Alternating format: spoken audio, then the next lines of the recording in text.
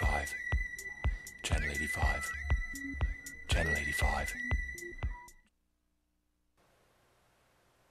When you order two fried eggs and hash browns, you're benefiting from something called oogamy. Welcome to Scientific Station. I'm Brendan Crawwell.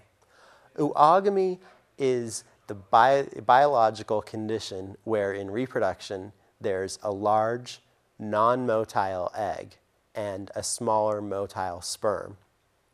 The sperm moves using uh, its motile abilities to find the egg in a variety of ways to fertilize it. Now, this isn't the condition of all organisms, and it appeared late in the evolutionary uh, development of life. So, researchers don't know what, why oogamy developed um, and how it came about.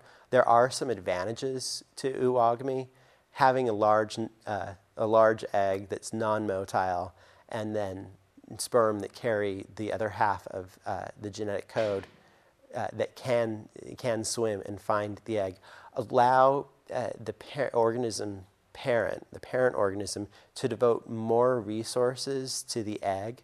An organism that produces eggs as opposed to sperm tend to produce fewer eggs and provide more nutrients uh, and then and protection once fertilization occurs.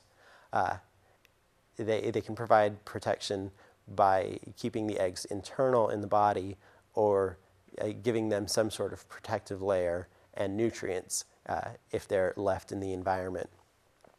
So, to look at this, uh, researchers looked at some uh, protists or algae that, that are closely related and exhibit these two different forms of reproduction.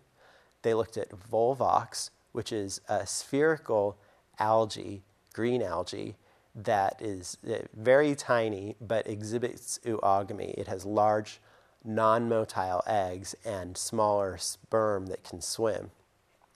And uh, Chlamydomonas is a related organism to Volvox, yet it, uh, it has isoogamy, uh, uh, and I pr- uh, pronounce that more carefully to, to show the iso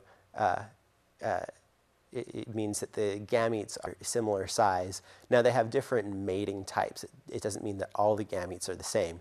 They're, there's a plus mi- uh, mating type and a minus mating type, and for fertilization to occur, a minus and a plus need to fuse.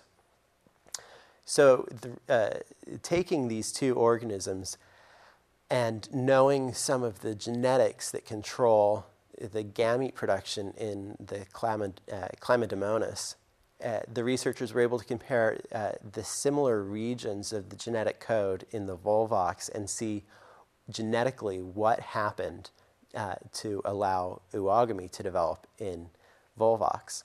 And what they found is that as well as having the expected rearrangement of genes within this region that codes for gamete production, uh, the Volvox also incorporated other genes that pre, prior to the event of including these genes in that locus or that region of the DNA, those genes didn't function in reproduction. Uh, so oogamy developed on, at the genetic level by rearranging uh, and splicing the DNA that had already coded for the gametes and then allowing for extra genes, well, taking the benefit of extra genes being added in and creating a condition that allows the Volvox to devote more energy to their eggs um, that are then fertilized by the smaller motile sperm. For more information, visit scientificstation.com.